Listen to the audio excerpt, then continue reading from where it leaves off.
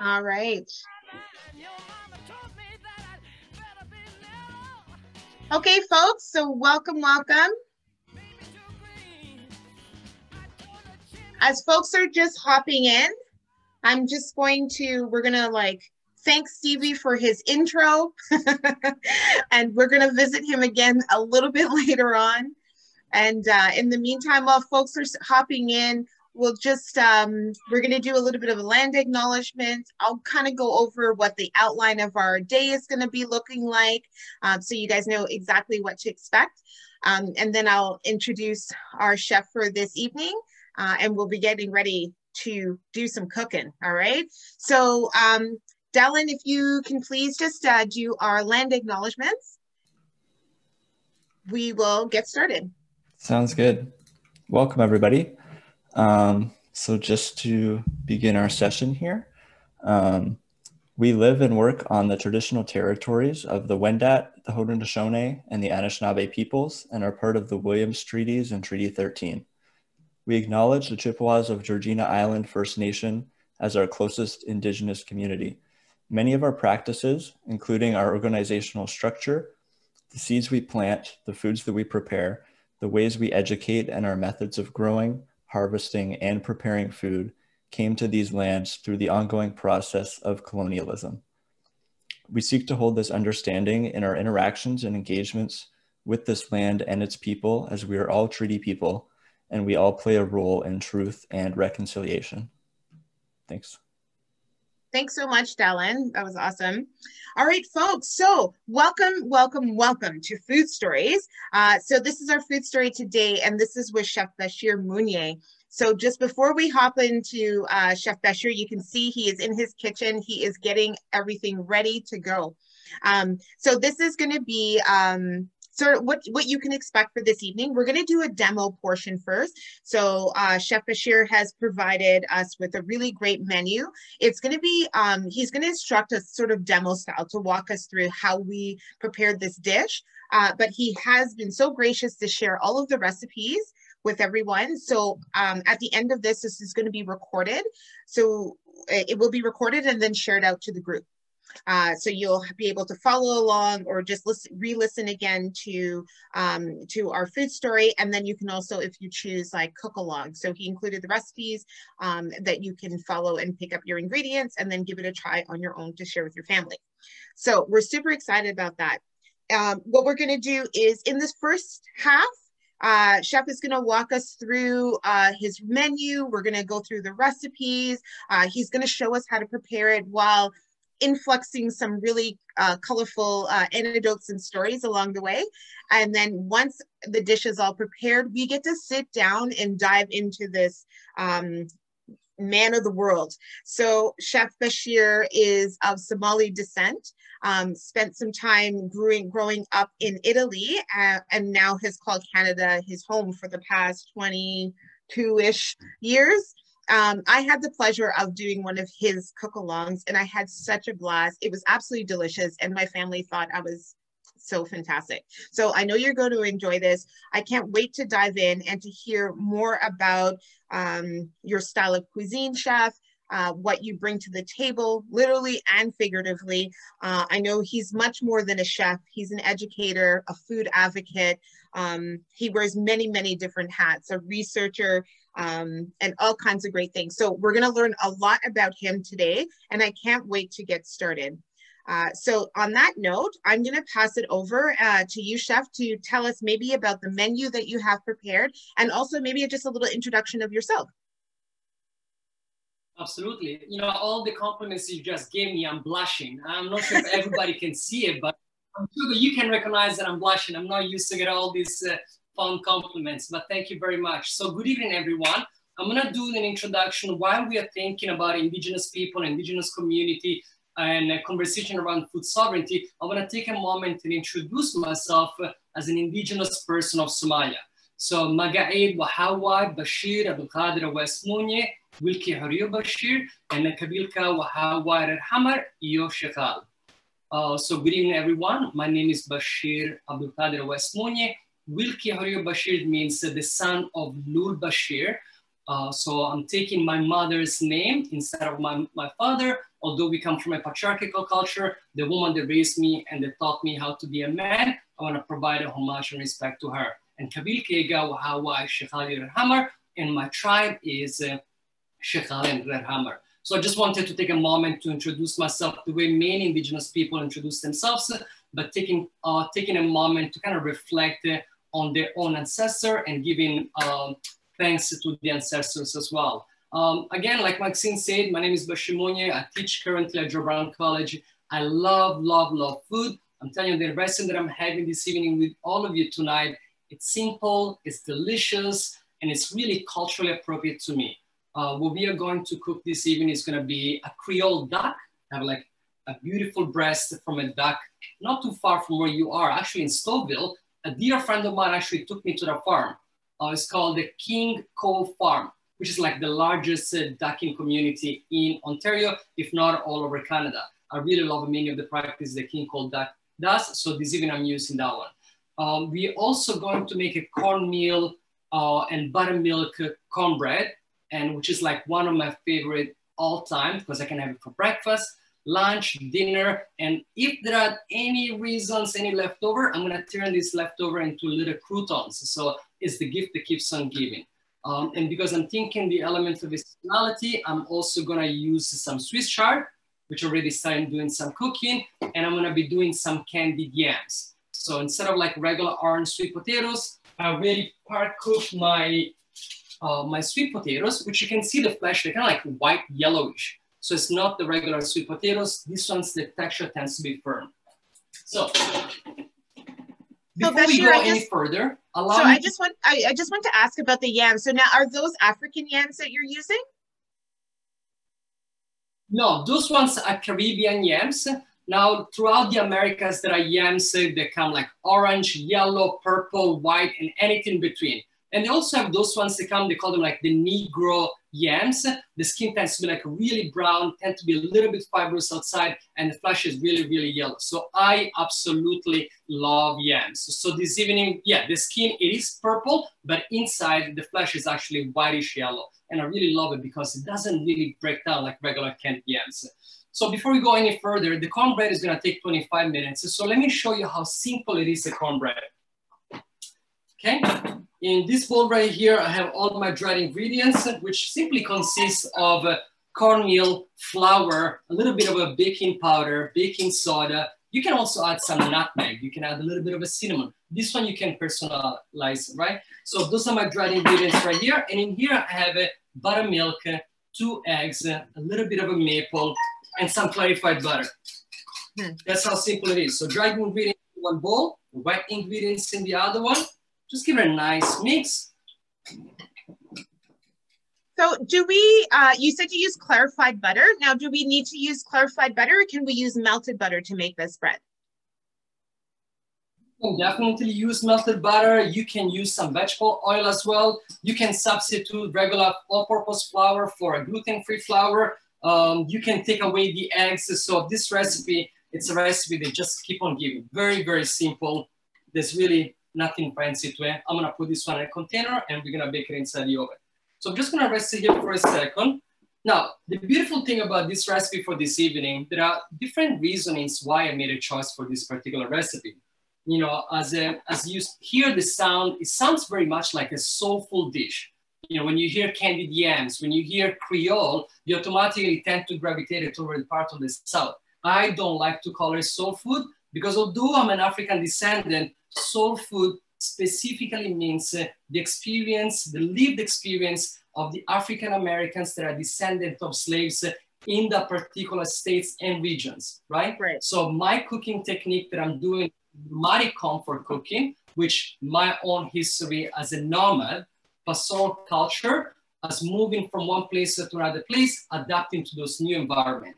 You know, the yeah. Creole experience, it reflect that the Africans have been enslaved through the Caribbeans. They moved to the southern part of the states, uh, met indigenous community, uh, uh, uh slave, uh, uh, slave owners, and they come up with this beautiful combination of spices and seasonings they brought from the continent, and then they use the local ingredients. So this mm. dish right here is much that intersection between locality and diversity. You know, most of the time when we think about local, we're always thinking about someone that doesn't necessarily look like me.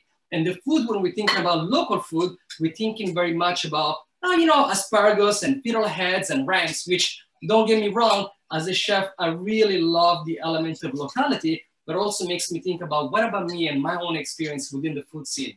And when I'm cooking food, does this food also speaks about me? So that's how simple the cornbread is. Somebody please time me for 25 minutes because I can get caught up talking and we don't want to burn this.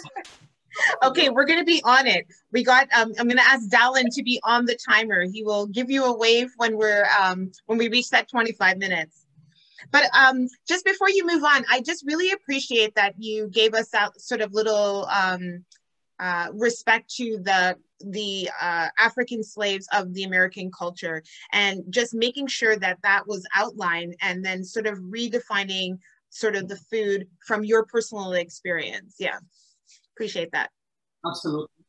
I, I think sometimes the narratives that are not constantly spoke in a way that really gives a, uh, a position to uh, the ancestor, the people that actually build and paved the road for my own culinary journey it would be so much for me to be able to take all the praise and the accolade for coming up with particular dishes, but I really have to take a moment to appreciate it for those that actually have walked and paved the road for me. Um, so again, tonight, cornbread, we're gonna have some steamed greens, we're gonna have some candied yams, and we're gonna have some Creole duck. In the meantime, I already have taken the stems and already started cooking the stems. You know, the stems, they tend to be a little bit more fibrous. The thing about I love, love, love the stems is that most of the time when people buy vegetables, they don't really have an understanding of the, the anatomy of a plant. So the stems have the same nutritional value. Some people peel the stems, and the reason that they peel them is because they can be a little bit fibrous. But once you blanch them really nice and tender, there's really no need to peel them. So these ones have already been blanched, and I have the leaves as well. I cook the stems separate from the leaves because mm -hmm. the stems are a bit longer, and now I'm just gonna be simply blanching my leaves and eventually we're gonna just saute them with a little bit of olive oil and a little bit of garlic. Now, growing up in Italy, I ate food that really sounded like this one, like seasonal ingredients. You know, born in Mogadishu, Somalia, I'm really accustomed to food that within my DNA, it speaks about cumin, coriander, cardamom, yeah. caraway. You know, if you will have to dissect me, all those spices are within me. But I really love sometimes the simplicity on just highlighting those ingredients. So mm-hmm. here's my Okay, so I'm gonna do a little batch at a time so I don't really like it crowded. I wanna maintain the space like really, really nice and fresh and vibrant. I also have a bowl with cold water. So once that I blanch them in this salted boiling water, I'm just gonna cool them off for a minute inside cold water. And after that, we blanch them, we're gonna pan fry them eventually. Go ahead. Yeah. So steamed greens are here. Now, there's always this debate between Cajun and Creole. You know, Cajun is rooted in the Acadian experience. Creole is specifically spoken about the Black experience. So that's some of the similarities and contradiction between Cajun and Creole. Now, I personally love this particular spice rub, but this evening I'm gonna share with you a little tip that I've learned over time on how to cook that. And some of you will say, well, why are you using duck and why don't you use chicken? You know, I've been an advocate for farmers uh, at farmers market for many, many years. And because King Cole Farm is closed, a lot of restaurants uh, have not been purchasing from them. Yeah. And if you not purchase them, a lot of corporations like Loblaws and Norfolk's, you can buy a whole duck here from Ontario for 10 to 12 dollars. Mm-hmm the grocery store, you can still buy the whole chicken for approximately the same amount of money. So pound for pound, I get more yield out of the duck than the actual chicken because the duck has a lot of fat as well, right? Yeah. The anatomy is pretty much the same, but for me, there is a value perception as well.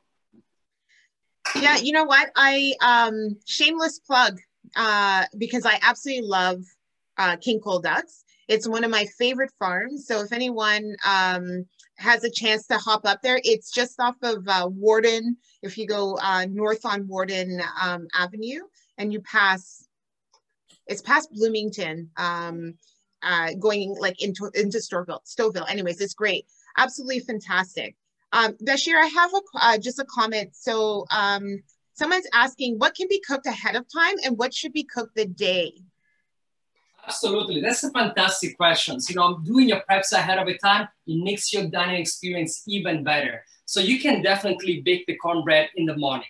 You can mm-hmm. pre-bake or you can pre-braise your yams the night before. But I personally like a cornbread just like fresh coming out of the oven. So mm-hmm. now for your dinner, you can technically make the cornbread. I'm making a choice this evening to cook in front of you fresh because then my family will be enjoying it for dinner. Actually, if I can just go back for a second, if there's anyone who's Muslim or celebrate Ramadan, I just want to wish all of you Ramadan Mubarak. Okay, so I'm fasting. So the timing that we are having this cooking class, I'm actually salivating. So conversation, you can absolutely cook the cornbread the night before, but for me, I personally prefer the day of. You can steam or blanch your greens the night before, and then the day off, you can pan fry them. But I would strongly suggest specifically for the duck, most protein, you wanna cook them right there at that moment because they only take eight minutes. So pretty much everything can be made ahead of time, except the duck should be cooked at the moment that you're cooking. So that's a great question. Thanks for that, yeah. So for my candied yams, I have my beautiful yams right here. I'm not sure if you can see the color. I have a little bit of orange juice, but I had some passion fruit kicking around. So I had a little bit of a passion fruit as well. You don't have to add it. I have a ginger. I have a little bit of a cayenne as well because the candied orange, uh, the candied yams tend to be a little bit sweet between the natural sweetness of the actual yam and the mm. orange juice as well. So as you can see, the sauce is starting to thicken for two reasons. One, because there's a little bit of a butter, and B, because the starch content from the potato is thickening the sauce. Okay, so I, am I'm, I'm almost to the consistency of a glaze. So I'm gonna stop the cooking for this one at this moment. I'm just gonna rest it on top of my stove. And when I'm closer to cooking or ready to have a dinner, I'm just gonna warm it up again, okay? So my candied yam goes in here.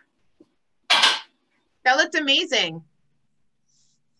I have been doing this dish for the past few months, and there's been a whole inside joke because I started this dish right here for Black History Month. Just the intersection between, uh, you know, my own identity as a Somali person, thinking about local Canadian ingredients, uh, and also reflecting on the experience of the African American community with the soul food.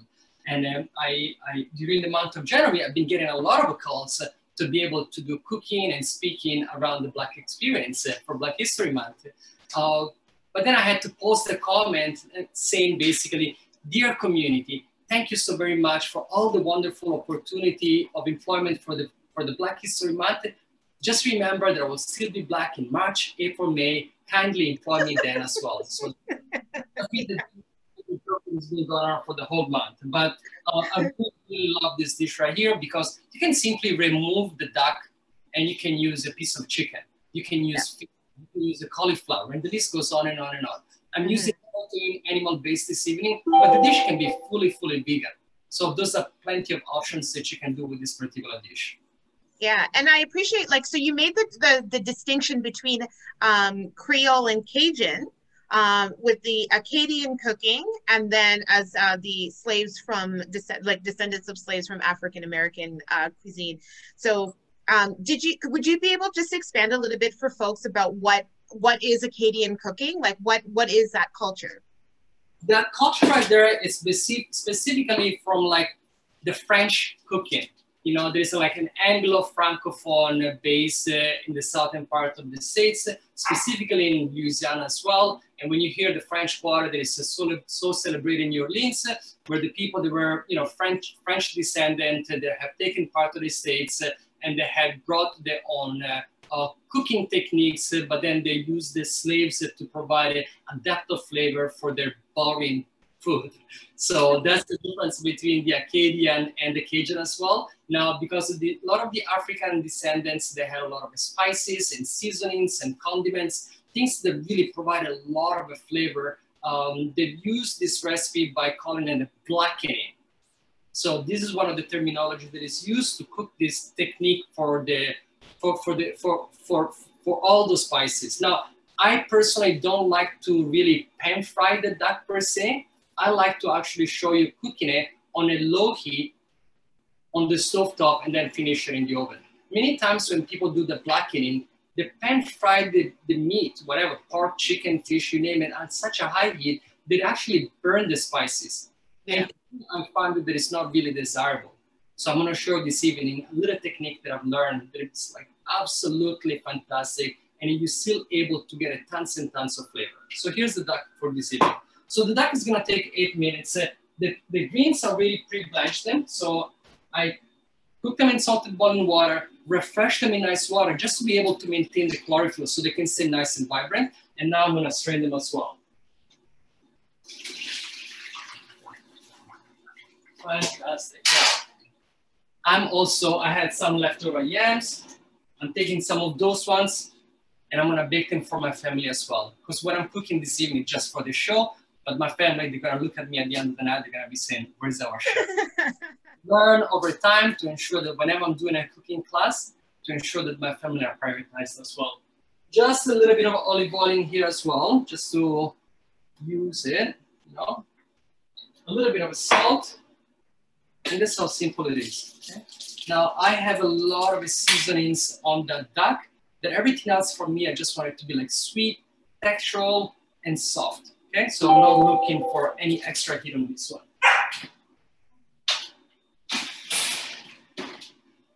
So when you're putting the yams into the oven, what temperature do you have it at? I have now my cornbread baking at 400 degrees, and I'm cooking my yams because they're really being pre-cooked at 400 degrees as well. So I'm gonna check them again about four to six minutes. I really want them to get like a beautiful crust because the yam is like super soft inside. So I'm looking for a textural contrast. That's why I'm cooking them for about six minutes in a high heat. Perfect, yeah. That sounds great. Now, Maxine, what did you grow up cooking and eating? Oh, so we're, we're turning the tides here. so, myself. Go ahead.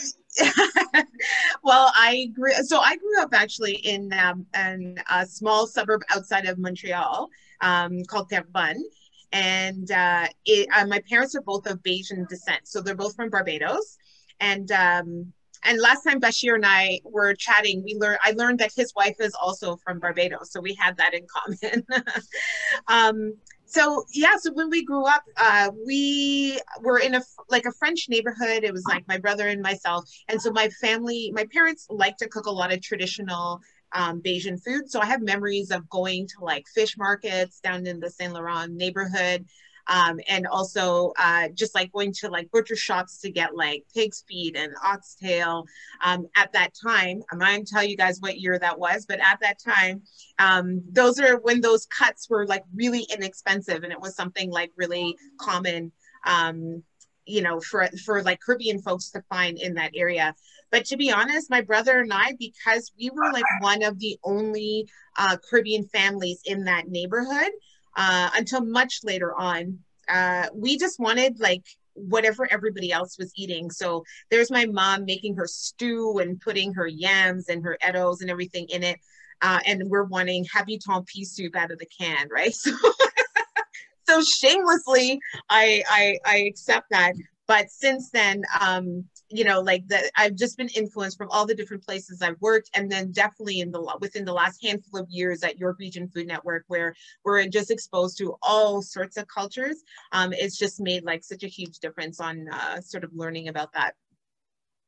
Yeah. I, I, I love to be able to be in different neighborhoods of toronto. There's such a beautiful thing about it because you can go 15 kilometers from where i am 8 kilometers from where i am and you can constantly find the beautiful, beautiful food from so many parts of the world. I think we have like over 159 languages spoken in Toronto only. You know, so the yeah. amount of deliciousness that is from block to block, it's unbelievable. You know, one thing that I've always uh, argued with many people that I've personally learned is the definition of authenticity.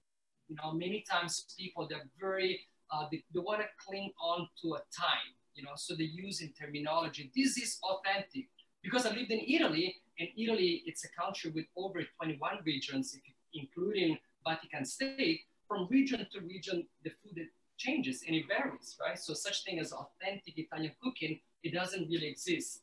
you know, and it's the same thing with the Chinese cooking know, most cooking around the world, just like if you say Caribbean food, there are a lot of subtle similarities, but the food is constantly changing. So the food that used to be 100 years ago in Toronto is not the same food that we're eating right now. You know, the food that used to be 100 years ago in the Caribbean is different from one, the one that we eat right now. So it's important to reflect that authenticity, it has a time and place. But there is authenticity with ingredients.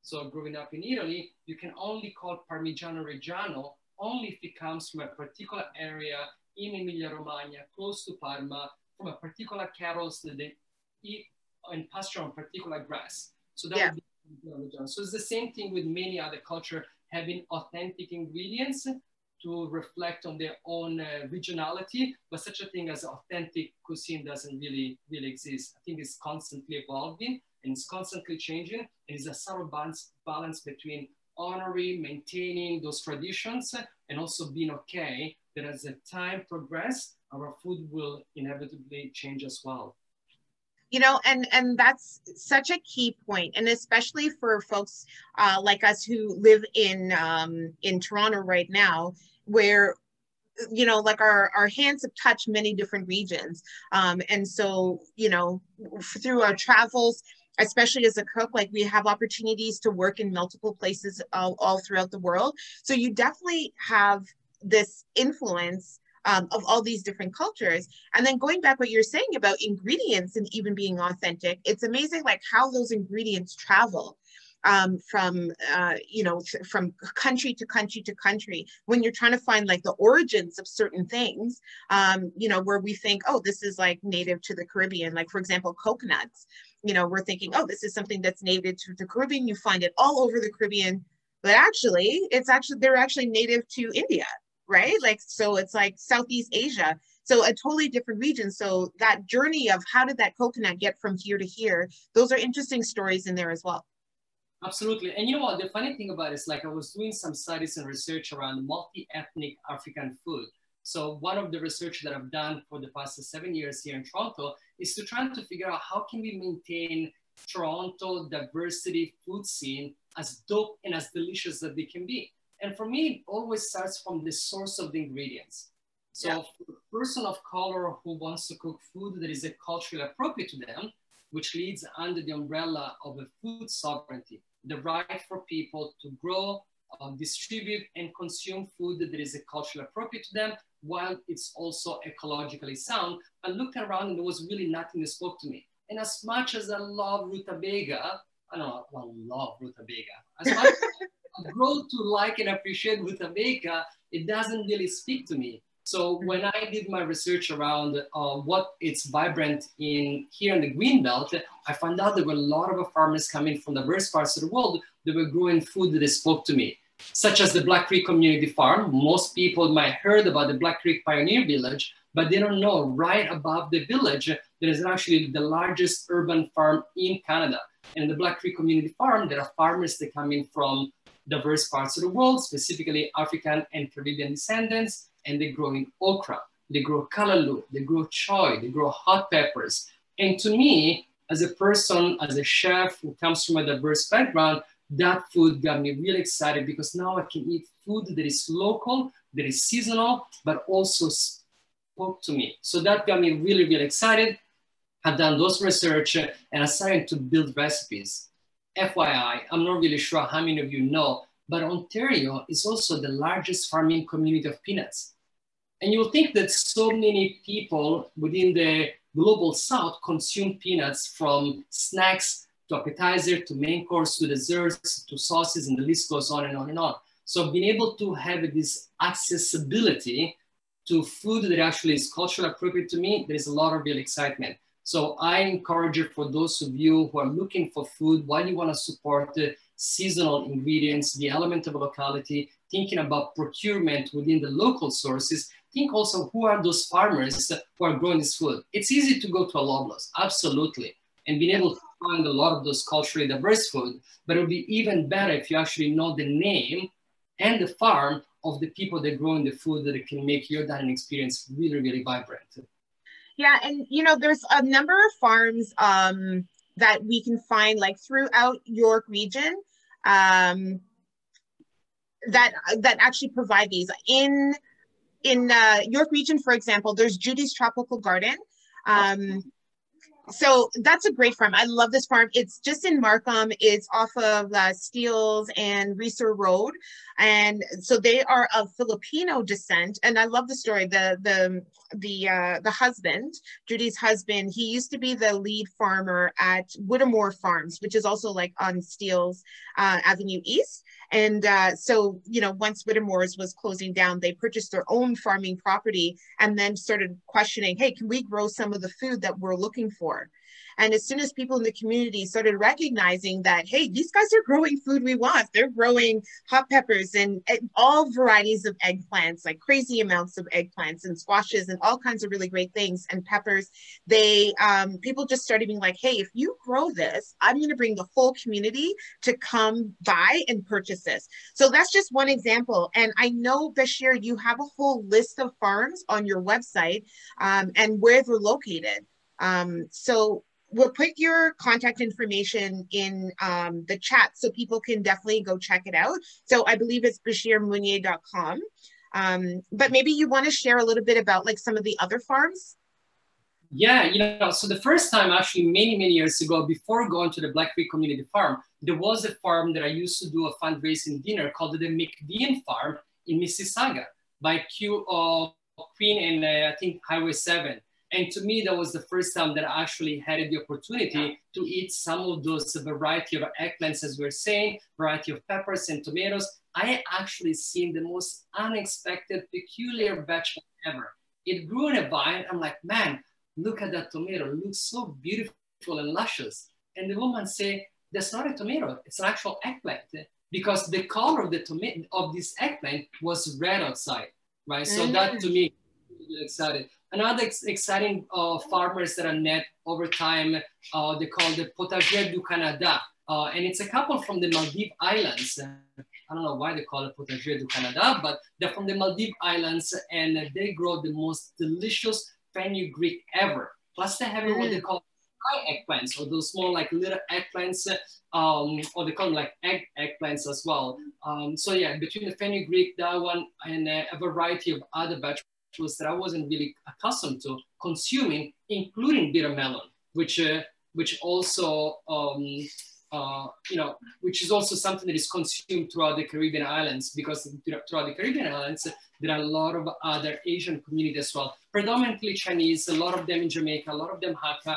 uh, one of my friend chefs, the one that I was telling earlier, Rob Chin, is right here, Chinese Jamaican guy. So I just want to give a shout out. I hope my friend Maddie Matilda is there as well. Uh, I felt a bit nervous. You know, anytime that you have a chef, including yourself, Maxine, it doesn't matter how many years that I've been cooking. I don't know how many times that I throw down the same recipe. There's always a little bit of a nervousness because I'm like, oh my gosh, if I mess up my cornbread this guy's been doing this big talk now cannot even cook one single cornbread. So I'm keeping my fingers crossed. So yeah, um, please check the website, find out how vibrant Ontario can be. And I also want to take another second to reflect that, you know, as much as you hear me speaking about diversity, multiculturalism, I really want to bring it back that we are here on Indigenous land. And when Absolutely. we speak passionately about diversity and multiculturalism, at times we tend to really negate the true experience of the first people of this land right here. So it's important that we appreciated what's going on here, but it's also important for us to be critical when we are speaking from a place of ownership and entitlement that this is not actually our land and we are just guests around here and to be and it's very important for us to honor and respect not only the land but also to reflect and also fight for the policies that support the indigenous community across Canada as well. So that's something always really important to me.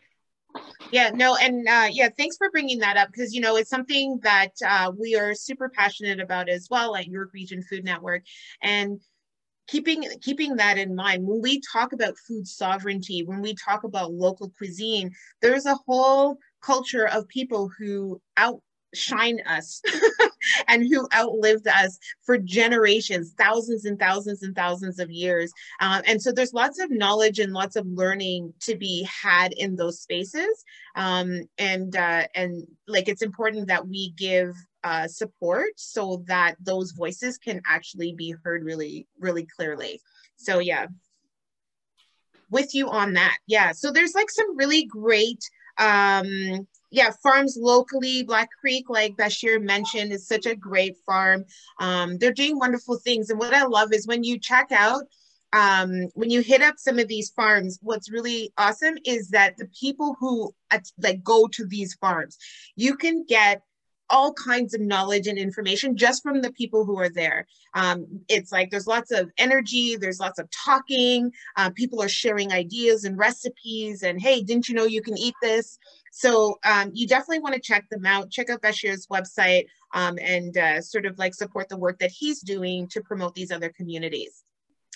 All right, so chef, what do we have happening now? Okay, so for some reason, I think there's somebody who picked my little garlic that I had left. And I'm not gonna be hearing anybody around here, but the garlic that I had for my greens is gone. So I'm just gonna freestyle and improvise and I'm gonna pretend that this is garlic, but I'm actually gonna saute some shallots with a little bit of olive oil and I'm gonna saute my greens. Now, what's the timing for our cornbread? Um, Dallin, were you keeping uh, were you keeping note? How how are we doing on the cornbread? We were looking for was it 24 minutes? Yeah, we're looking about 20 25 minutes for our cornbread. Um, yep. Yeah, the timer just went off. Okay, there we go. about timing. I think because I have people in my house like kind of like salivating, they can smell how fragrant the smell of a cornbread is, and like stop talking and just get that cornbread out of the oven. um, so yeah, so I love vegetables in general. You know, I grew up eating them, and most of the time people don't really understand the botanical composition of a plant. So when you're looking into a vegetables, you know, most of the time people they tend to throw away. I would say at least 20% of the vegetables. And if you take that 20% of the vegetables over a period of time, then you really end up with a lot of a food waste. So this one single household multiplied by 7 billion people. So if there is a little bit of a food literacy and an understanding on how those plants are, it really helps you. So let's give an example. Let's give this simple tomato. Hey, don't forget to check the cornbread. Now I'm I'm worried about the cornbread. smell detector, my smell detector just said to me, you're almost there. Let, let's give it a try. Let's let's take a look. Let's take a look. That's the chef's internal clock, right? Yeah, my cornbread, it's almost there, but it looks a little bit pale. So I'm gonna crank up my convection and it's almost there. I can feel it. Okay, let's look at our yams. Our yams also decided to get a little bit of a color as well. Okay, not quite there yet, but they get a little bit of a color. Mm -hmm. Okay, turn on the Kasaya pan.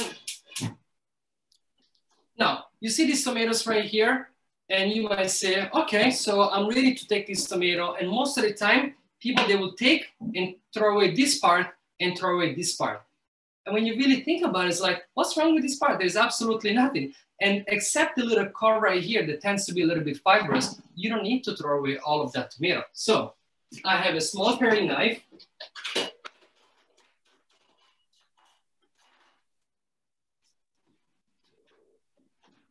One second.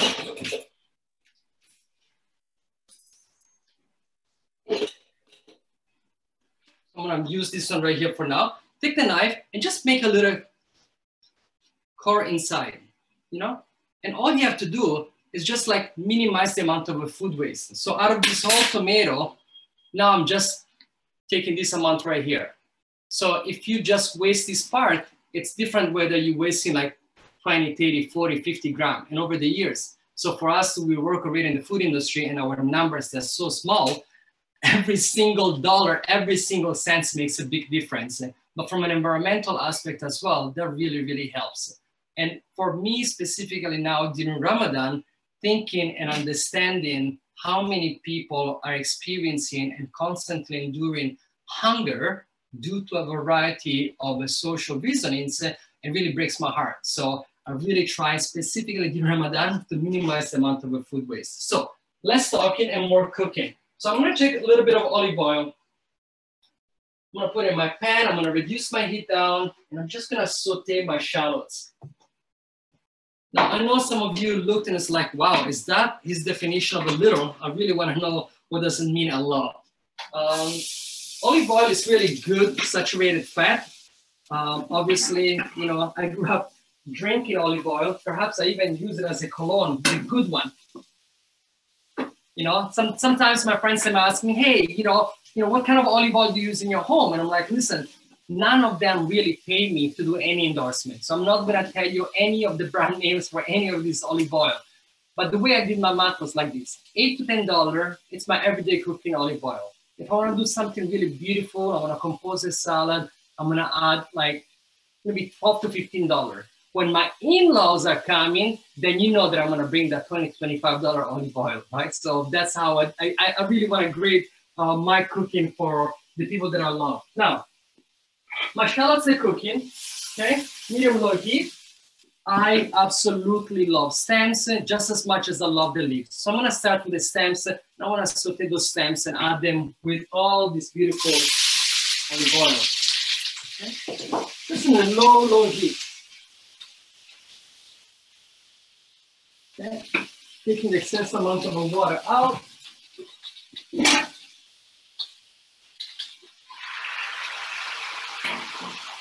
There you go. You add some salt. Increase the temperature and the cornbread is there. Now, so we talked earlier about the cooking technique for the duck. We talked about that although it's going to be similar to blackening, I'm actually going to start with a cold frying pan. And most of the time when you're doing chicken or so forth, you always see chef like pan searing them on a high heat. I'm gonna start with a cold pan because what happened, contrary to chicken, except some chicken, that has a lot of a lot of effect. So I'm gonna start in a cold frying pan.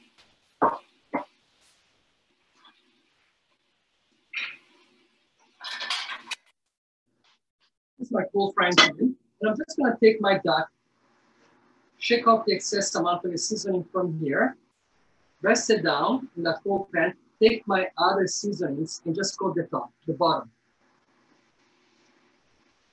Okay. Cool pan, my duck has been nicely seasoned. And because all that fat on that duck, I want to render in a very low heat. Now, by rendering at a very low heat, the duck fat is going to create the oils and it has all those seasonings. And I'm to use all that fat and seasonings to provide a flavor to either my greens or cornbread as well. So the duck fat is the gift that keeps on giving. There we go. Thank you. Just one second, I'm gonna wash up my hands quickly. You can ask me more questions. All right, so um, Chef, I'd love to have um, duck fat just for my everyday cooking, and it really loves like potatoes and it loves eggs. Um, do you reserve your duck fat for further cooking? Absolutely, absolutely. I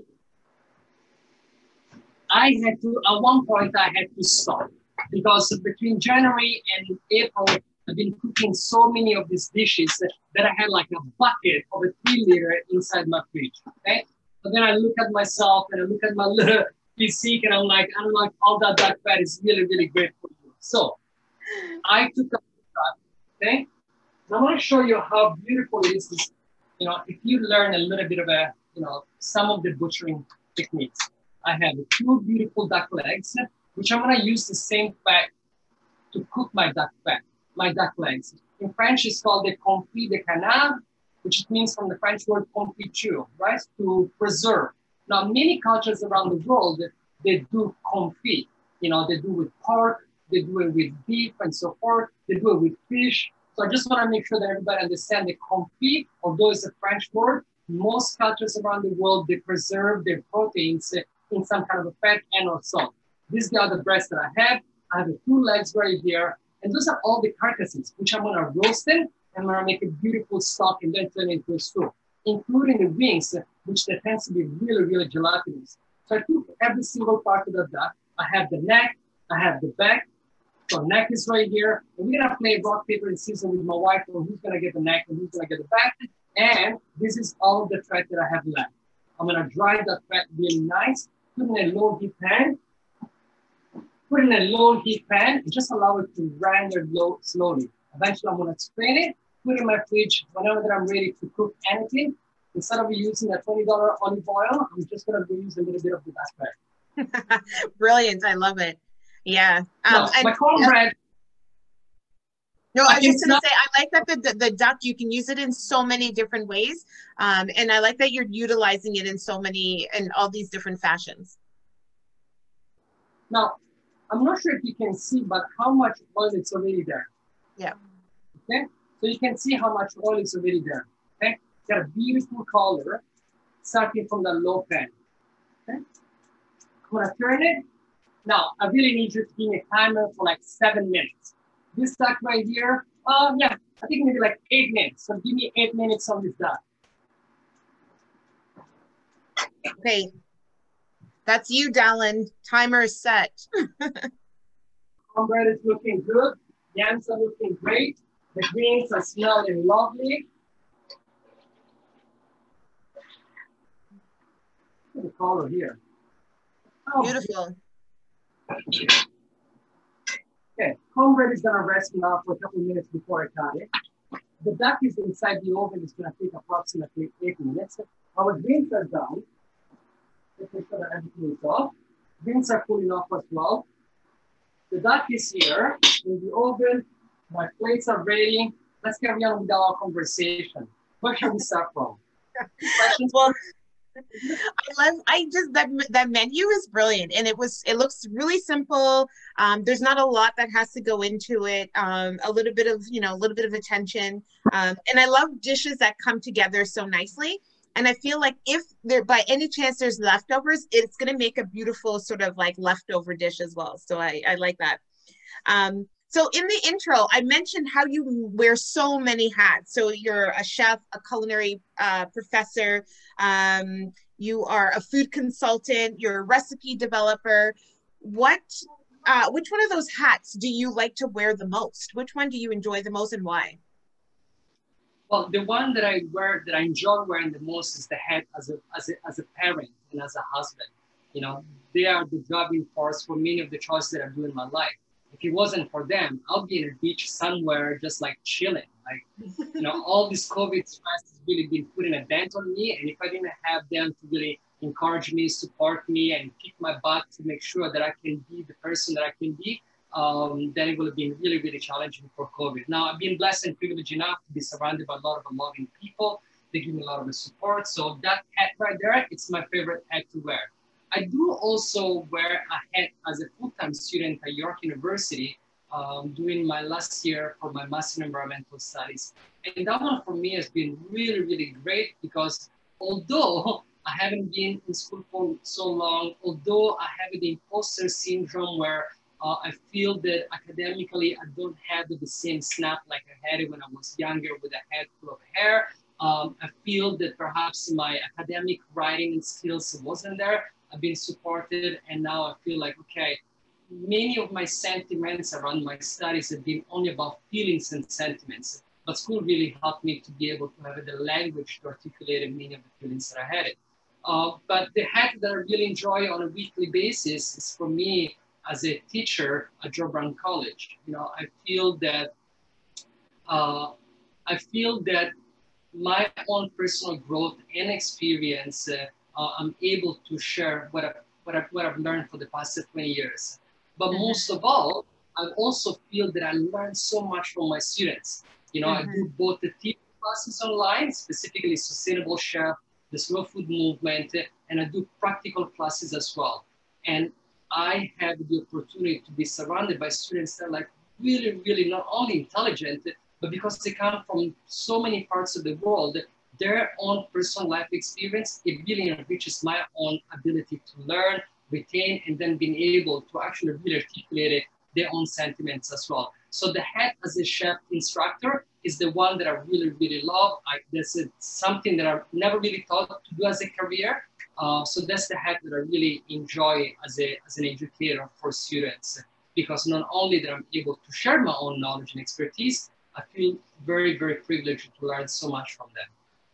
You know, and that's key. Like I think it when um when we're in this position in which that we get to lead and, and that we get to share like what we've learned, um, if you if you if we're able to keep that openness and be able to receive all the learning that we can also obtain from the people that we're teaching it's like everybody just uh, grows from that and everybody just excels from that so i can definitely relate to that yeah um, and so at george brown uh, what is the what is the course that you're teaching there and what's your main role like as far as like the culinary program faculty so i'm at the bottom bottom bottom of the bottom bottom of the podium. So I'm just a new kid on the block, been teaching there for only four years.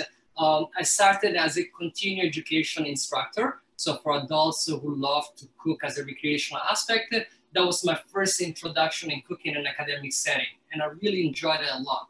Um, because it was very casual, relaxed for adults, while we maintaining an element of a professionalism. Because this is not the type of a space that you can show up with your flip flop, your t-shirts, and your shorts or holding a glass of wine while you're cooking. That maybe some of you, that's what you're doing right now in this moment.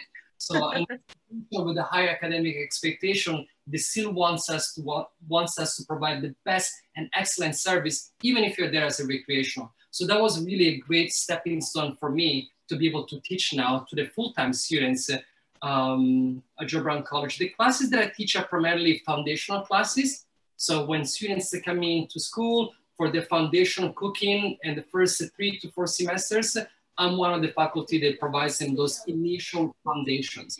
Um, and I hope within the next few years, I'm gonna be also have the opportunity to grow.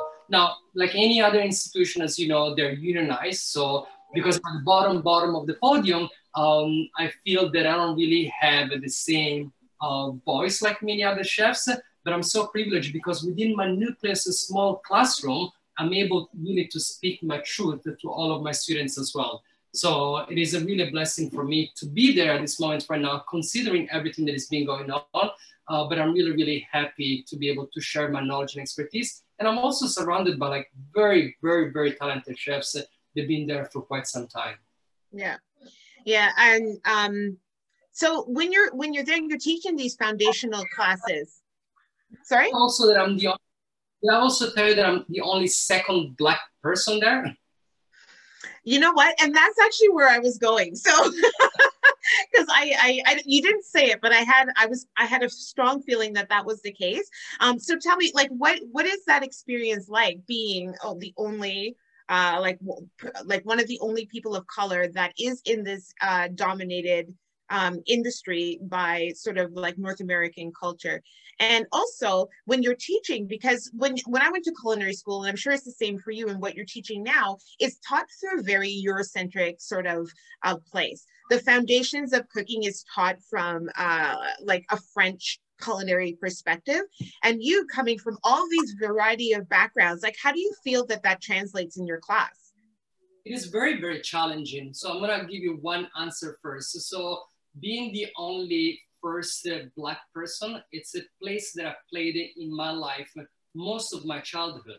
So I was the only black guy in a private uh, uh, high school. I was the first black guy out of a 600 students. Two years after women were accepted, because it used to be an all-boys school, I was the first black guy. So being the first black person, at times you feel that you're actually paving the road for somebody else, but there is a lot of emotional trauma for you to kind of endure a lot of the uh, racism within uh, early childhood education that is being indoctrinated in me. So that was the first thing. The other thing is also as an educator.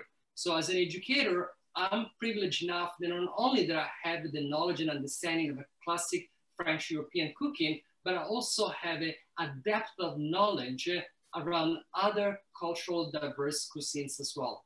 So when I'm giving you the example of the confit de canard, I can also reflect on how many other cultures they have a variety of preserved food. So the language that is used primarily from a very colonized space, it is French for all the cooking.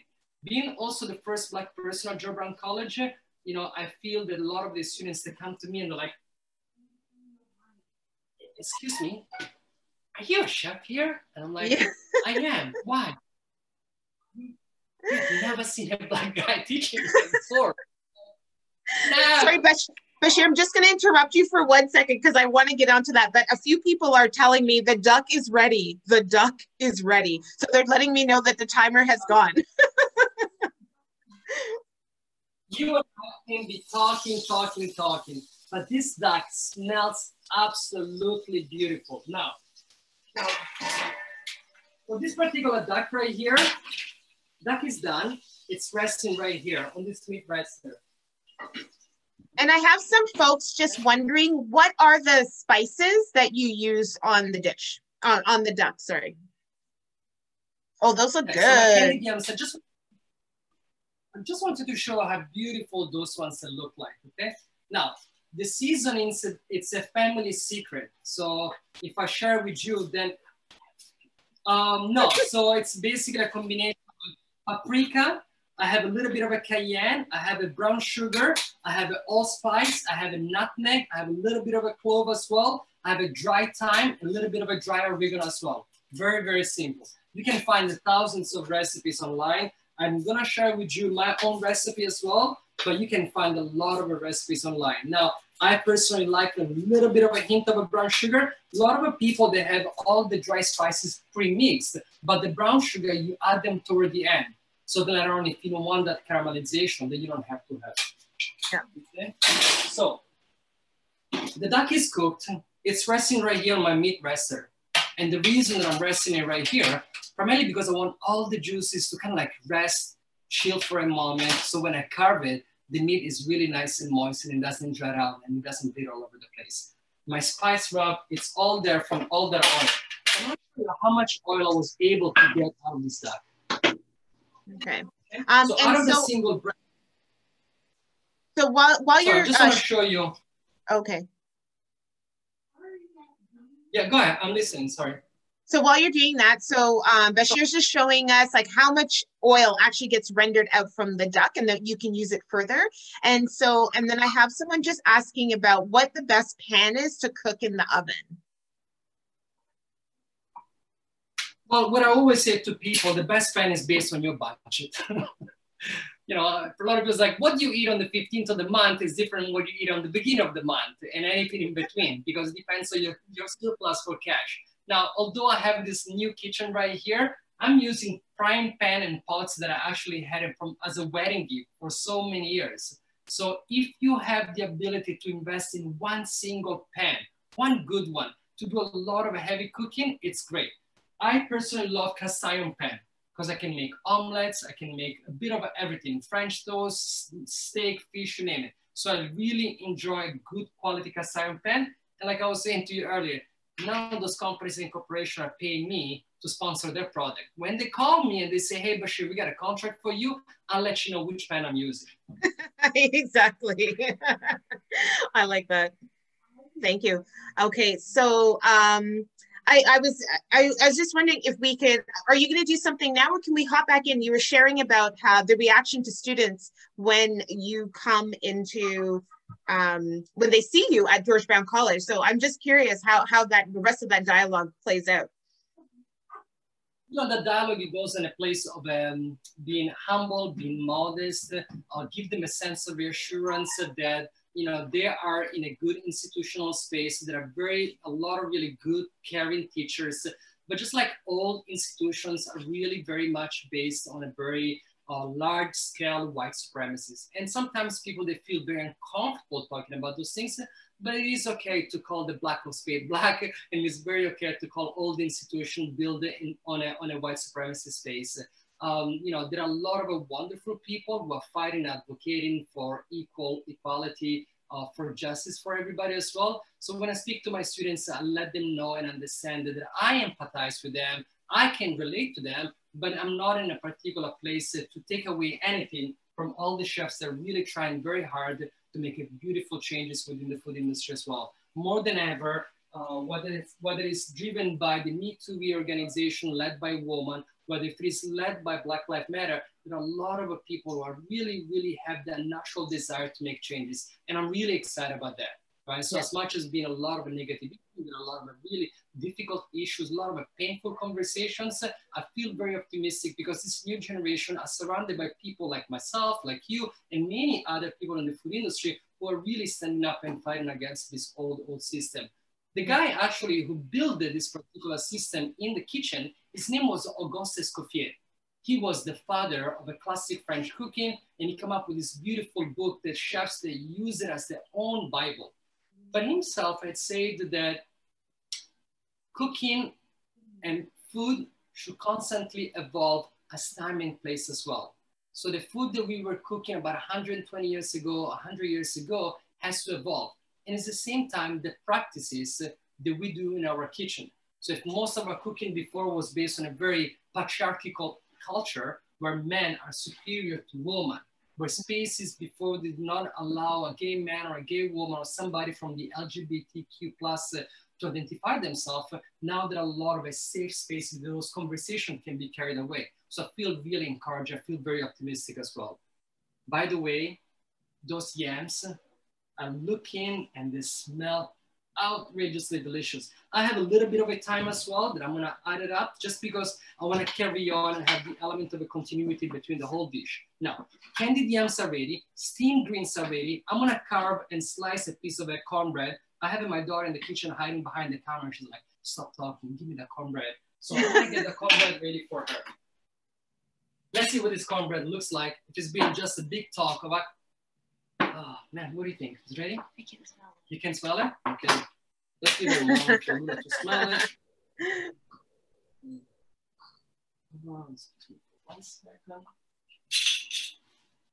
I think we're all wait. Uh, we're all hoping or wishing that we could have a little taste as well. You know what? As soon as this COVID ends, we are ready to get together and have a beautiful meal together. You know, there's been a lot of people getting vaccinated and feel so encouraged I had a friend of mine, a really dear friend of mine, and also Rob Chin, um, that was really reminding us about, you know, how a lot of the seniors are feeling really, really excluded. You know, they feel yeah. excluded. They feel a bit. Um, there's been a lot of, uh, you know, they were doing community gardens, they were doing farming, and now all of these places they closed. Specifically, like in a lot of like more rural areas as well, it took away a lot of the joy and the ability for them to stay connected. At least kind of like seeding and planting right now something to look for for the summer. So I really feel for some of those um, uh, for some of those seniors as well. I think I put my pen upside down. Just bear with me for one minute. I know that some of you are laughing because it's like everything that he was saying is just happening right now. yes, it's like your fears are being realized. but you know what? You're, you're you're you're pulling it off really good. You got the game face on. You're just going straight forward. Yeah, no, you're doing good. You're doing good. The show, must carry on. The show must carry on. You know, I, I especially with Rob Sheen and Maddie there. I've worked on a lot of a catering company. And you, as you know, thousands of stories that make you really pull your hair. So after a while, it becomes like a second nature. Fake it until you make it. No, okay. So let's go on this plate because I'm I'm ready to. What time is it? Because I almost feel that it's that time for me to break my fast. What time is it? Uh, it is seven thirty-four right now. Seven thirty. Another half an hour, but at least let me, let me play the food for you. Although I still got another half an hour. Okay, so cornbread. Now, you know people that can play in so many different ways. Um, but I'm gonna share with you tonight a way that I really enjoyed it recently. Okay, really nice moist cornbread. Just gonna put a like nice long slice right there.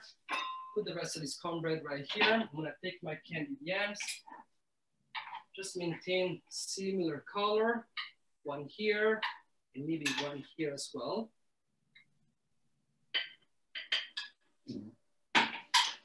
I'm gonna take the stems of the greens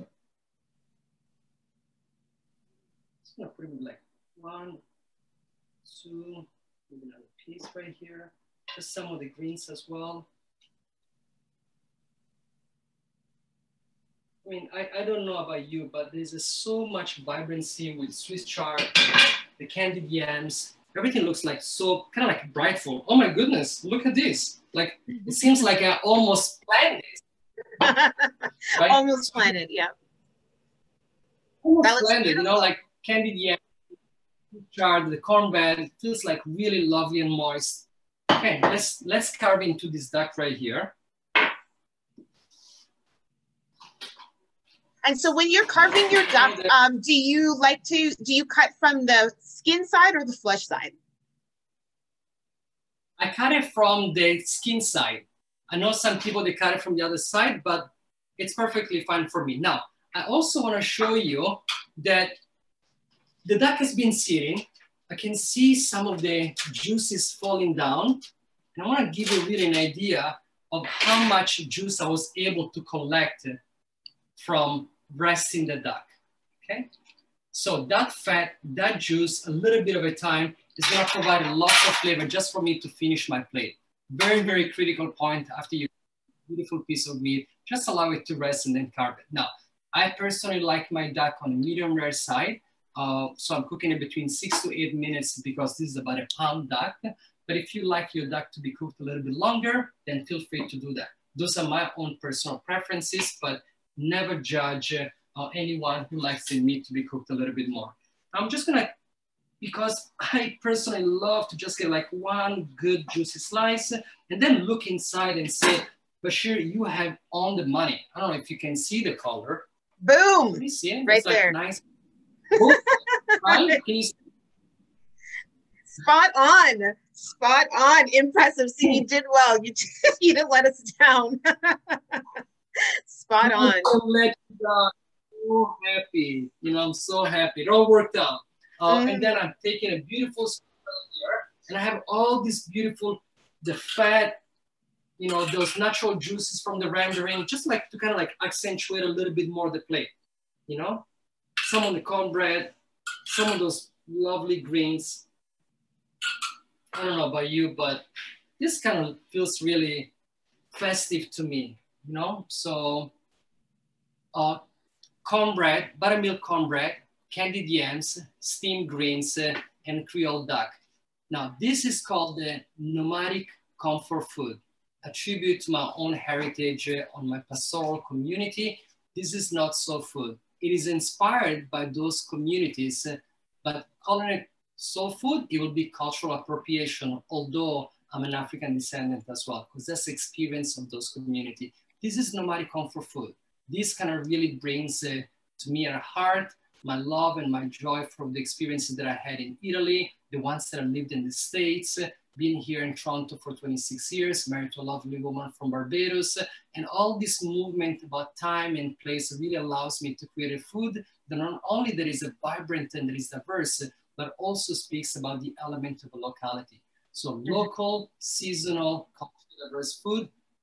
Boom! Thank you. I'm gonna give it to my daughter because she's like, she's looking at me with puppy eyes. So I'm gonna give it to her. Bon appetit. Enjoy. We, we kind of want to see her take a bite, but I think we'll we'll give her that privacy though. that looks absolutely beautiful. I'll send it to Thank you. I'll I'll take a picture and I'll send it to you. Please feel free to ask me more questions. Yeah. So um, Karen and Rob are just saying fabulous as always. So folks, okay, so that was our um, uh, thank you so much, Chef, Chef Bashir, for just taking us through that menu. It looks absolutely delicious and amazing. Um, so up next, if you all have any questions that you want to ask, um, Chef Bashir is here and ready uh, to answer those questions. So um, so if you have anything, you can type it in the chat and then I will uh, read it out and he'll answer them for us. So we'll do a little Q&A time. Um, it's 7.40 right now, so we have 20 minutes that we can just kind of like chat it up, learn a little bit more about Chef and about his, um, his background and his culture. And uh, just to get it started though, I wanted to, um, I just was curious to find out what region in Italy did you grow up in? So yeah, I grew up in um, in, a, in, a, in an area called Castelli Romani, which are the seven hills. Uh, the Pope resides one of them called Castel Gandolfo, and about 20 minutes from Rome. So I grew up in a the region is called Lazio, uh, so about 20 minutes from Rome. So the neighborhood that I grew up, it's kind of like the Oakville to Toronto. I don't know if I give you the analogy. So it's like a nice little suburban area. So I live there about 20 to 25 minutes outside Rome. Okay, thank you. Um, I did have a question from somebody. Uh, so Noor was asking, uh, is there a one food ingredient that you do not like? So what's your, uh, uh, I don't like it. Hmm. Uh, you know what? I don't I, I overdosed when I was a little kid in chocolate. So I don't get up in the morning looking for chocolate. I've cooked a lot of sweet and savory dishes with chocolate as well, but it's not something that I really, you know, desire to cook or eat. So chocolate is my little, the thing that it doesn't really work for me. Chocolate. I, is that a thing? I didn't even know that existed. I don't know if we can be friends anymore. That just like, I love that though. So chocolate, you know what? Mine is celery. Don't like celery. I don't know. Don't no, like it. Maybe, maybe, maybe you never had a good celery. You know, maybe you never had a good celery. I have a fantastic recipe where you have a stew celery with a uh, with a uh, with octopus, and it's absolutely delicious. It's based with tomato sauce. There is onions. There are olives inside there. There are a little bit of a raisin. It's like a beautiful, beautiful Southern Italian dish that I cannot tell you. I really put my nose up like celery, like like everybody else. Oh, eating to a, you know, you know, to eat it with some ranch sauce. But apart that, you know, nobody wants the celery. But celery is one of those really underappreciated, undervalued uh, dishes. And the celery leaves, they're beautiful, beautiful into salads as well. All right. For, I do like the celery leaves. And I, I think I appreciate the flavor of celery, but I don't know. There's something about the texture maybe that I, I just, I don't love. But um, I have another question for you. Uh, I just have, uh, do your children enjoy cooking as well? Uh, yeah, yeah. Oh, well, my son, he has a couple things in his repertoire. Uh, he's more of an academic guy. He doesn't really like cooking per se, unless he has to. Uh, it's like a very technical body. Uh, my, my, my daughter still like cooking, but why cook when you got a guy in the kitchen cooking all for you? Yeah. You know what I mean? Like the youngest she loves baking as well. So she's a bit more adventurous. She loves baking. There is a whole baking set behind here. Uh, but why do you bother cooking when you know you can just place an order? It's like, hey, can I have some duck with cornmeal and uh, oh, yeah, sure. Which sometimes really helps me as a parent and also as a cook not to think about what they want. It's easy if they make a request based on what I have available. Yeah, you know what? And it's true. And if they like everything, then that makes life even that much easier. I, I bet. You know, I, I gotta say something to you because I know there is a Karen and Rob right there. And you know, the most challenging is like the, the kids of chefs. Those are the people that are most difficult to please because the parents they can cook all bunch of food but then your kids, they come back around and it's like, listen, why don't you just give me a bologna sandwich, okay? your fancy stuff.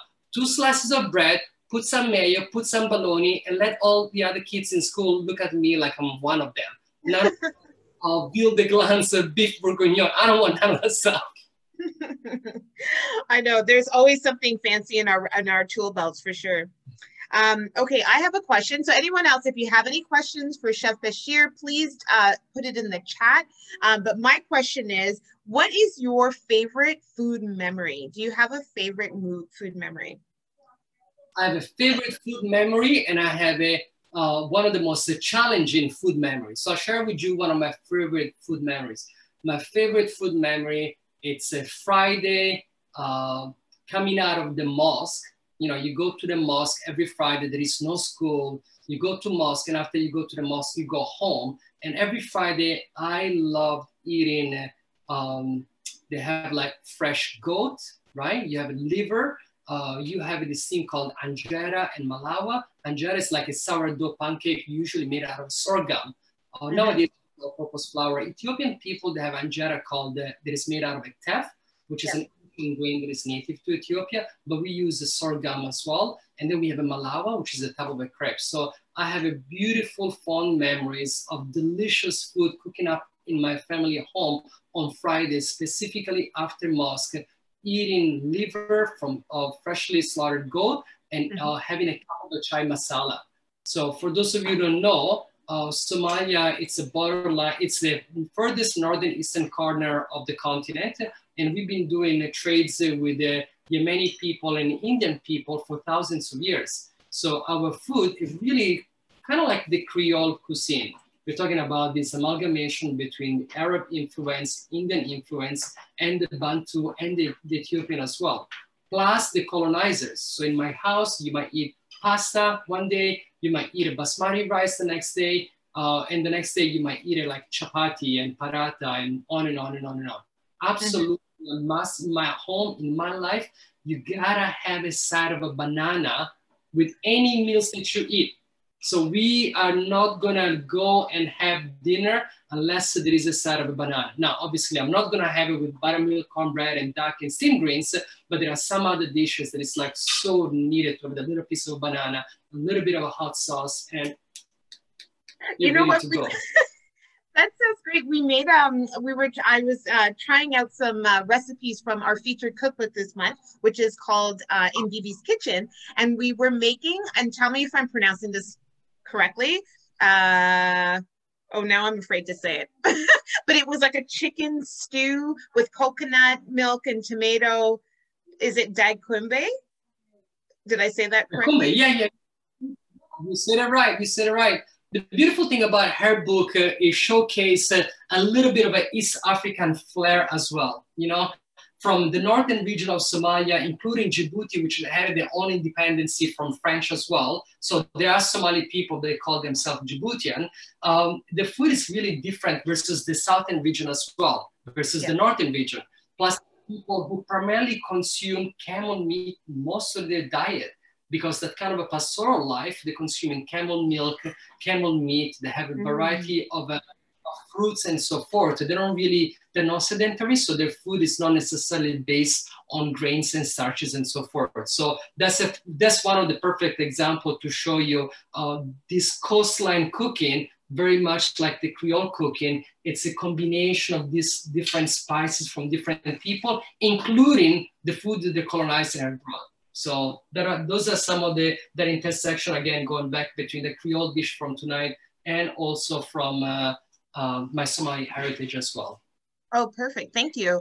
Um, I have a couple more questions and a comment. My comment is we uh, in Barbados, I remember as a child, we used to eat uh, banana also with our soup, like so a hearty provisions soup, and we would always eat banana with it. And uh, like all the other kids in the neighborhood thought we were really strange but we thought we knew we had gold happening. Um, so your two, so I have a question, a couple of questions. So uh, one is, uh, what's your favorite part about teaching at George Brown? I think you kind of touched on it before. And the other question was, uh, what do you like to do in your spare time outside of teaching and being a chef?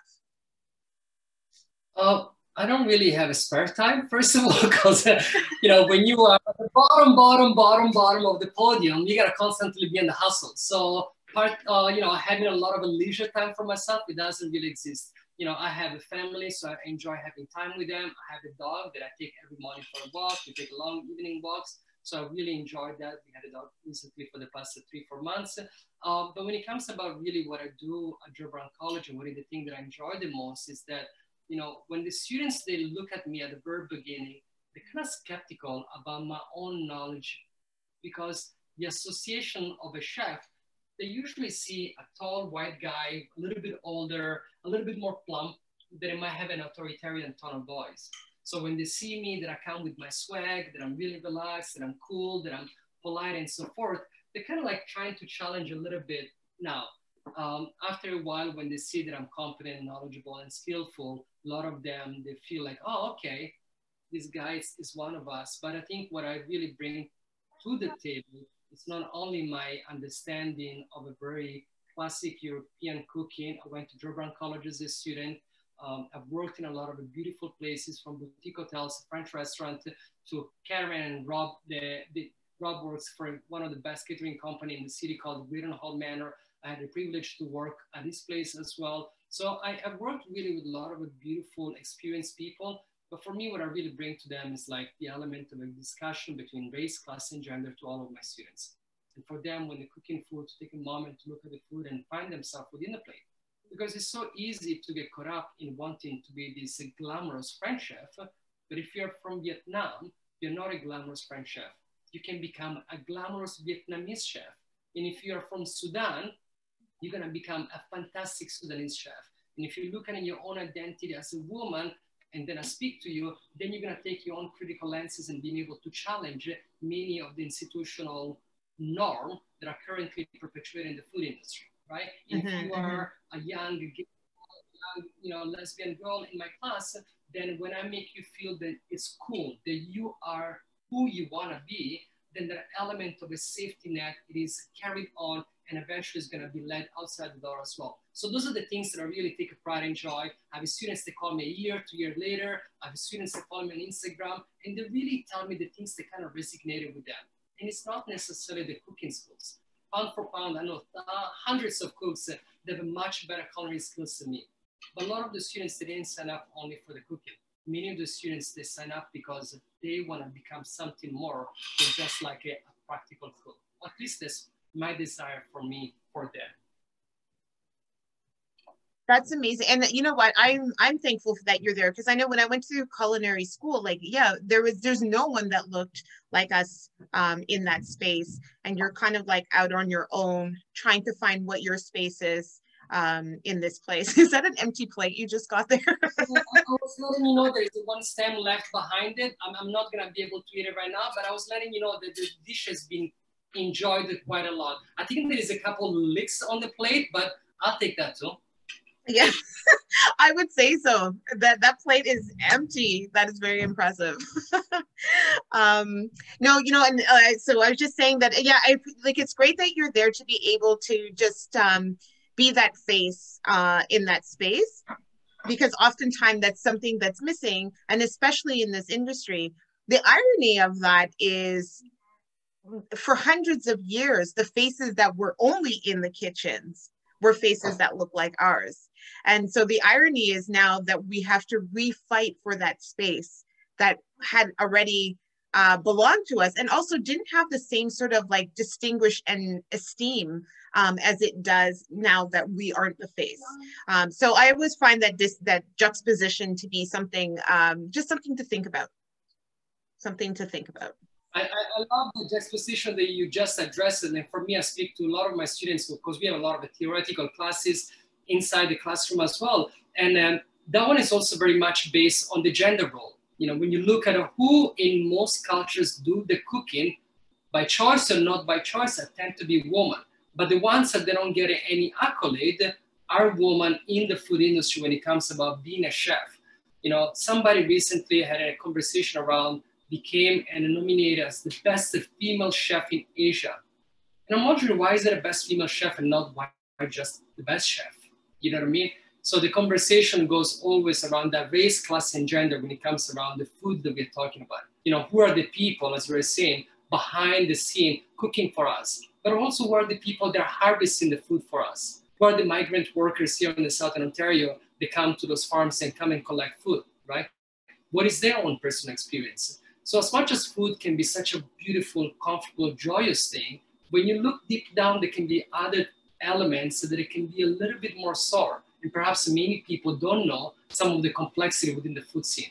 I love food because it can be the vessel for us to be able to articulate it, confront and address all of those issues that we're experiencing and people across the world have been experiencing for the longest time. Mm-hmm. Absolutely. You know, um, that's why I love food too. I love to use it as that tool to have these conversations, to bring out these these uh, discussions. Because you know, once you show people some beautiful food and talk about ingredients, everyone's uh, open and receptive and ready. And it's even better when we can actually provide that food for people and then share a little bit of that story and that history and that culture of that food uh, with them. So I'm just taking a look at our time, Chef, and it is, we have five minutes left. And I just want to say a huge thank you for you um, for being here today, for sharing about, you're sharing your recipes with us, about your experience, your knowledge, and your culture. Um, everything that you've brought forward to us has left us with things to think about, things to smile about, and uh, and things to enjoy later on. So it was just such a pleasure to, uh, you know, hang out with you this afternoon. And I look forward to when we can uh, be in the same space and like cook together one day. Absolutely, absolutely. Thank you so very much for inviting me to be part of this uh, special space as well. Um, is it possible, because I have some people that are really dear to me at heart, is it possible to open their camera I want to say and see some of those people that are close to me are, oh, there, there they are. Oh my goodness, look at all these people. I didn't know that I had so many people that I'm really fond of. Hello, look at this, Noor so, yeah. and Rob. if you guys want to open your cameras and say a hi to Chef Bashir, you can totally do that. Everyone, turn on your cameras. We're right near the end now. Um, and so feel free to do that. Give him a wave if you want to unmute yourself for a moment. Just say hi if you know him or if you just want to express your appreciation. Feel free to do that as well. Uh, so Wonderful. Thank Wonderful. you. Thank you very much. Enjoyed Thank it. you. It was great. Thank you. Thank you very much. Thank you. I, I, I'm, I'm blushing. I feel- Sorry. I see the blush. I see the blush. The makeup is fading away. The makeup is makeup is fading away.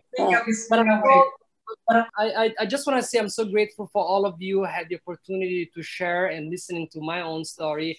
Um, I'm really looking forward for eventually for us, uh, for me to be able to listen some of your own stories as well. Now, my own knowledge and skills as a chef, uh, that's what I do for a living. But I can really be a good listener if you give me the opportunity uh, to listen to your own uh, experience as well. So for that, Maxine, thank you very much for having me. Thank you, all of you, and thank you to York Region Food Network for hosting this beautiful event.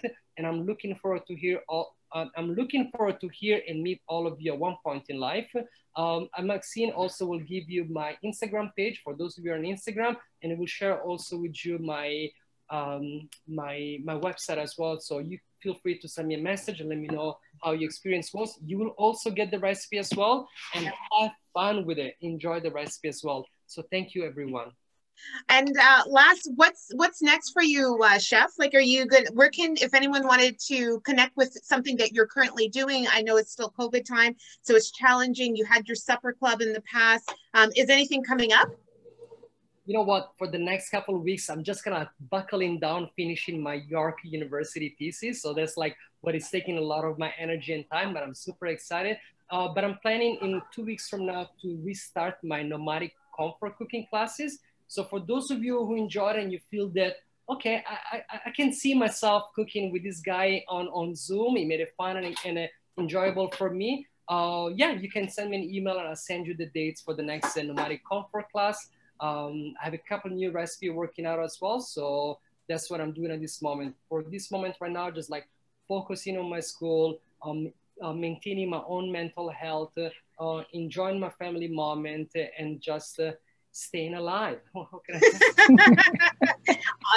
So, folks, if you um, have a chance, you definitely want to cook along with Chef Bashir. I'm usually on the instructing end, and I appreciate it so much to be part of the uh, like the like student end. And he makes the classes really fun, really easy. He acknowledges everyone who is there, um, gives everybody a chance to participate and share and talk if you want to, and tons of knowledge. I'm sure everyone is heads are full right now from all the wonderful tidbits that we learned from Chef today. And so if you want even more of that, you definitely want to check this guy out. Um, and even just give him a follow on Instagram. We've been like kind of following each other back and forth for like at least a year or two. Um, and we finally connected. So um, I'm so glad that we had a chance to do that. If I can say one more thing before I go, there's this Jamaican guy with the glasses standing there with a nice haircut that now he's smiling finally. This guy right here has taught me so much over the years. I know some of you, the look is like, which Jamaican guy with the glasses? And it's right there, the one that says Karen and Rob. So that, that right there. So Maxine, I'm not sure earlier I was telling you. So this guy right here, Rob Chin, is a fantastic chef. Uh, so not only knows everything about everything when it comes to food, but he actually shaped a lot of my knowledge and experience over the years as well. So for that, I just want to say thanks to Rob as well. Amazing. Rob, thanks for being here. And thank you all for being here. You got a special shout out. So um, it's been a pleasure. It's a great after evening, it's not afternoon. It's a great evening. Thank you so much for everyone who being here. A few people had to hop off. Most people are still here though, Chef. And uh, it was a pleasure. So folks, next food story is coming up. Oh man, I wasn't organized. Okay, so next food story. Um, is going to be coming up in June 17th. So it should be somewhere around June 10th or June 17th is going to be our next food story. Stay tuned to find out who our uh, guest chef is going to be, but much more the same. Lots of excitement, lots of interesting conversation, and uh, have an amazing night. Check us out, yrfn.ca, for any of our programs that we're doing. This Food Story series is part of our Food in History through a BIPOC lens uh, programming that we've been doing. And we are just, as we did today, sharing what those stories from Black, Indigenous, and people of color, what are those stories? And we are just journeying together to learn together. So on that note, have a blessed evening. Have an amazing time. Thank you again, Chef. Thank you all for coming. Um, and we appreciate you being here. Thank you. Bye. Thank you. Bye. I'm gonna break my fast right now. It's 8:02. Good night, everyone. Good night. Enjoy. Good night. Good evening. Bye. Ciao.